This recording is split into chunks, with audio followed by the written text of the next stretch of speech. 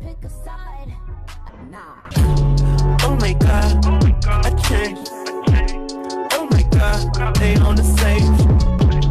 Oh my god, Hey guys, welcome back to my channel. As you see by the title, I'm going to be trying out some lip gloss today. So without further ado, let's get to the video.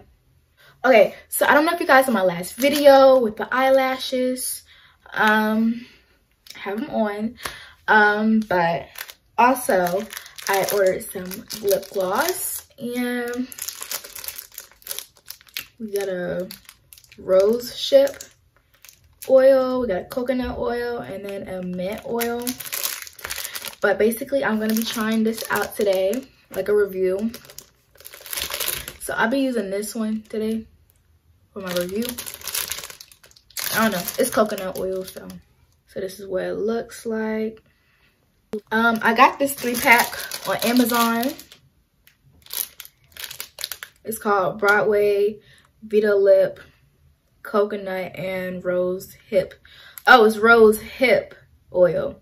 I thought it was Rose Ship. I was like, I don't know what that is. Rose Hip. Okay, got it. Um, this is what it looks like though.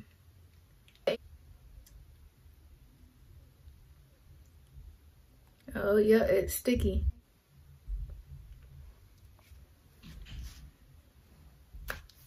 Y'all, that's crazy. I like it. Dang, I used that much already. Wait. But um, it's cool. Makes my lips look good. Oh my god, it's so weird.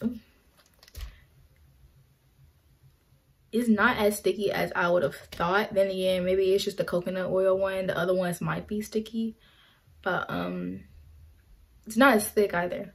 Because i've because i've used lip glosses that were a lot worse than this like a lot worse. So i do recommend this especially because it's a three pack and it wasn't much. Um i can't remember it was four dollars or five dollars.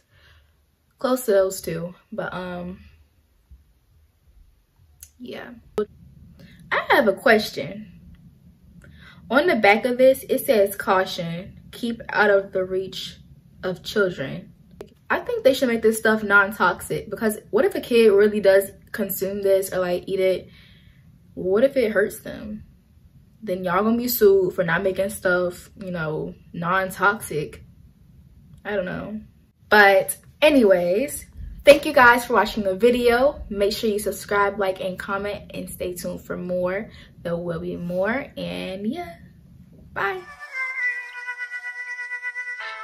Been with a chick that bad.